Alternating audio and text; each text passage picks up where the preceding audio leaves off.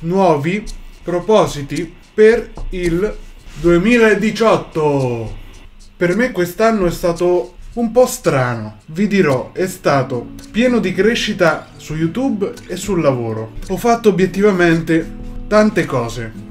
Su YouTube ho fatto obiettivamente tantissimi video che hanno portato a tanta crescita. Ho disegnato sempre per lavoro, per svago e anche questo ha tutto portato a tanta crescita. Ho lavorato con tantissime persone, che sia Sabrina, Eren, Karen, Sasha, tutti i mates e tantissimi altri, che anche questo mi ha portato a tanta crescita. Ho iniziato questo anno a gennaio su YouTube con circa 2000 se non 3000 iscritti, diciamo 3000 iscritti. Arrivo a dicembre per quanto riguarda YouTube con quasi 50.000. I numeri spesso non contano, ma in questo caso mi fa sentire crescita. La parola chiave è crescita. Ma ancora meglio quello che piace a me, la parola che piace di più a me è progresso. Ho iniziato quest'anno a gennaio aprendo una partita IVA per essere indipendente, disegnare e guadagnare con il disegno, che serve per vivere, ergo sopravvivere. Ho concluso questo anno con la partita IVA decentemente, diciamo. Con tutti questi dati alla mano, i miei propositi per il 2018 li raccoglierò in tre parole, tre parole, tre frasi. La prima è la più importante. Do more.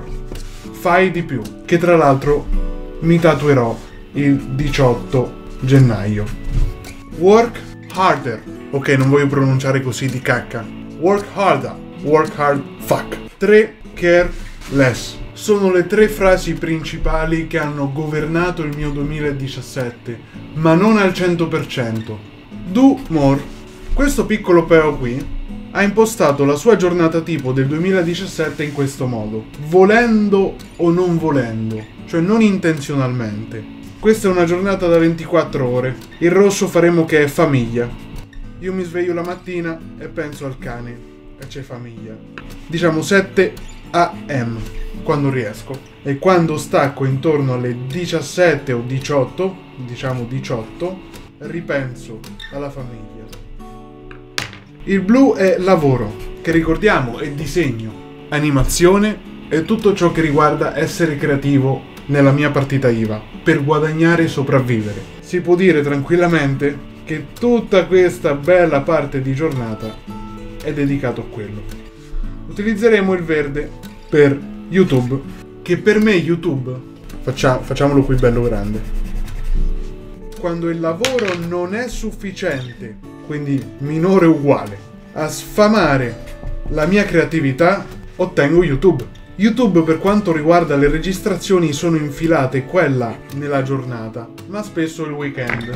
Comunque sia li inserirò qui come se fosse un'oretta ogni tanto. Ma soprattutto dal mese di dicembre e novembre in cui ho deciso di fare un video al giorno, YouTube doveva occupare altra parte della serata. Quindi diciamo che qui arrivano le 2 del mattino, mi è capitato spesso di editare fino a tardi e utilizziamo l'arancione per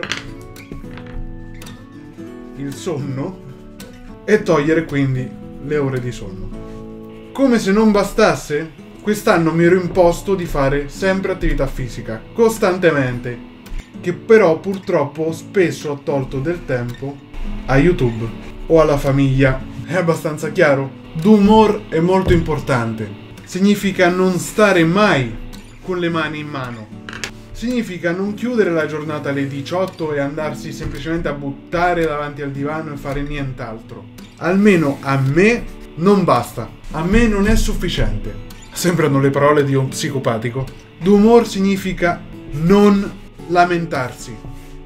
Questo per me è una cosa molto importante, perché là fuori c'è sempre chi si lamenta e non c'è lavoro e non so che fare e mi annoio e mi è andata male di qua, mi è andata male di là. Non lamentarsi, fare. Punto.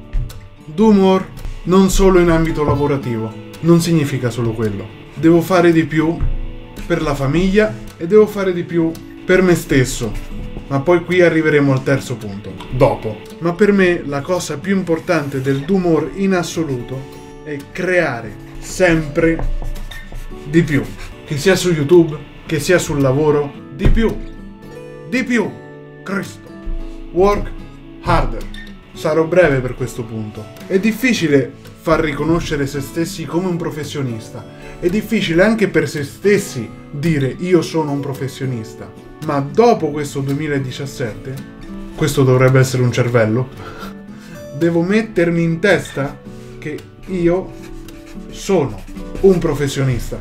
Quindi per questo 2018 devo Devo mettermi più in mostra e mettere più in mostra i miei disegni. Questo per ottenere più lavoro. Qui non so che lettera volevo fare, comunque una A. Quindi se qualcuno di voi è interessato può contattarmi a electricpeo90-gmail.com preferibilmente aziende. Lavorare di più per aziende. Meno privati.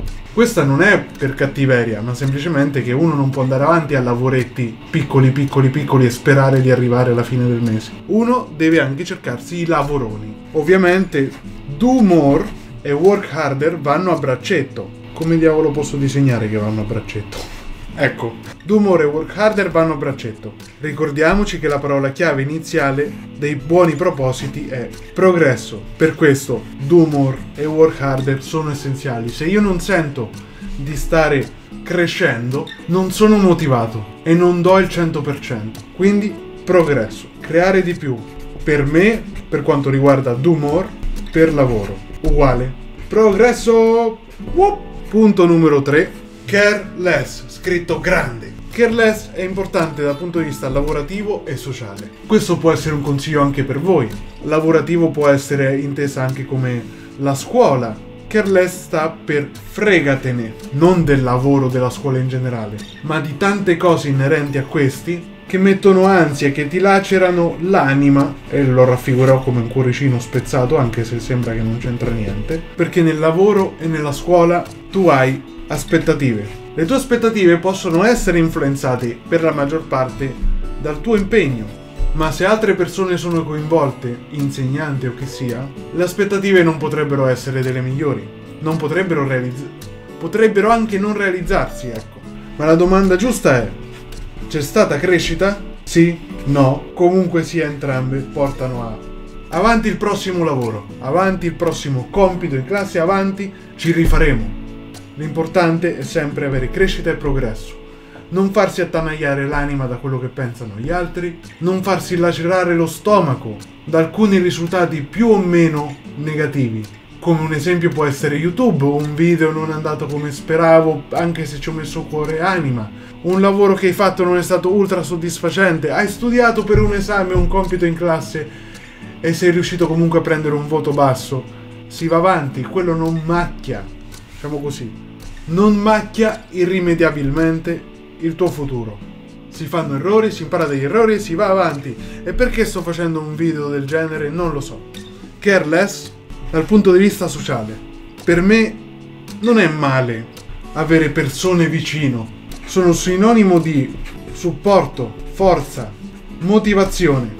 Ma al contrario, alcune possono essere sinonimo di negatività, amarezza, e utilizziamo una parola simpatica, mosciume è la più adatta. Se ci sono persone nella vostra vita che vi influenzano in questo modo, vanno eliminate.